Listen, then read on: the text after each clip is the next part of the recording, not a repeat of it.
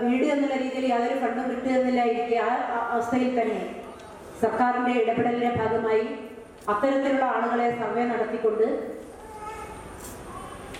വീടിന് പണി തറ എന്നുള്ള ആ രീതിയിൽ നിന്നുകൊണ്ട് ലിൻഡിലോരം വരെയൊക്കെയുള്ള വീടുകൾ അത് പൂർത്തീകരിക്കുന്ന ഒരു പ്രവർത്തനത്തിനാണ് സർക്കാർ ആദ്യഘട്ടം മുൻകൈ എടുത്തിട്ടുള്ളത്.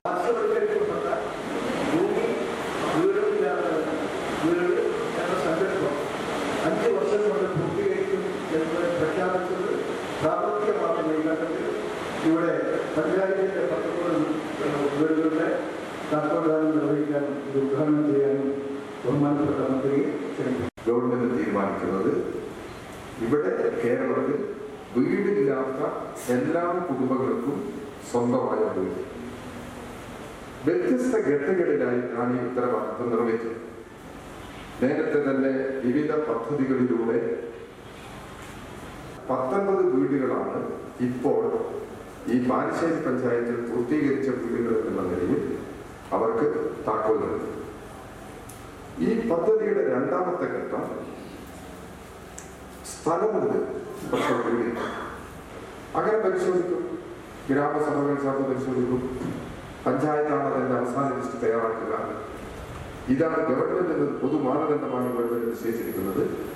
ഇപ്രകാരം ബാലുശ്ശേരി പഞ്ചായത്ത് ഇപ്രകാരം വീട് നിർമ്മിച്ച് നൽകേണ്ടുന്ന ആളുകളുടെ എണ്ണം നിർണയിച്ചിട്ടുണ്ട് അതാണ് നേരത്തെ പ്രസിഡന്റ് ഇവിടെ സൂചിപ്പിച്ചത്.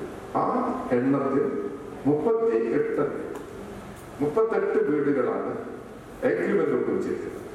അവർക്കുള്ള വീട് നിർമ്മിക്കുന്നതിനുള്ള ആദ്യ ഗഡു സഹായം ഇതിന്റെ ഭാഗമായി നൽകി. അപ്പോൾ അവിടെയാണ് ആ- സഹായം അഗ്രിമെന്റ് ഒപ്പിടുന്നതോടുകൂടി സഹായം നൽകും വീട് നിർമ്മാണത്തിലേക്ക് ഇത് സമയബന്ധിതമായി പൂർത്തീകരിക്കും. അടുത്ത ഘട്ടം. മൂന്നാമത്തെ ഘട്ടം ലൈഫിന്റെ മൂന്നാമത്തെ ഘട്ടം സ്ഥലവുമില്ല വീടും സ്ഥലവുമില്ല വീടുമില്ല. അവർക്ക് സ്വന്തമായി വീട് വേണമല്ലോ. അവർക്ക് സ്വന്തമായി വീട് വീട് നിർമ്മിച്ച് നൽകാനും ഗവൺമെന്റ് തീരുമാനിച്ചിട്ടുണ്ട്. അത് ഓരോരുത്തർക്കും നാല് സെന്റ് മൂന്ന് സെന്റ് അങ്ങനെ കഴിഞ്ഞില്ല. സാധ്യമെങ്കിൽ അങ്ങനെ ചെയ്യാം. സ്ഥലമുണ്ട് ഇല്ലെങ്കിൽ ഫ്ലാറ്റ് നിർമ്മിച്ച് നൽകും. ആ ഫ്ലാറ്റ് നിർമ്മിച്ച് നൽകുന്ന സമയത്ത് കുറെ പ്രശ്നങ്ങൾ അവർക്ക് തൊഴിൽ കുട്ടികളുടെ വിദ്യാഭ്യാസം സാംസ്കാരിക കേന്ദ്രം കളിക്കാനുള്ള സൗകര്യം അംഗൻവാടി സൗകര്യം. ഇങ്ങനെയുള്ള നാനാതരത്തിലുള്ള തരത്തിലുള്ള നടപടി പദ്ധതികൾ കൂടി ഈ ഫ്ലാറ്റ് സമുച്ചയത്തിന്റെ ഭാഗമായി ഗവൺമെന്റ് ഏറ്റെടുക്കും.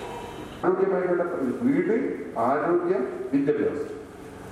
മറ്റൊന്ന് നമുക്ക് രോഗത്തിൽ നിന്ന് വിമുക്തമാകണമെന്നുണ്ടെങ്കിൽ വിഷരഹിതമായ ഭക്ഷണം നമുക്ക് കഴിക്കണം ശുദ്ധജലം ലഭിക്കണം കുടിക്കാൻ ജീവവായു പോലെ തന്നെ പ്രധാനപ്പെട്ടതാണ്. അതിന് ജലസ്രോതസ്സുകളൊക്കെ സംരക്ഷിക്കണം. മാലിന്യം സംസ്കരിക്കണം.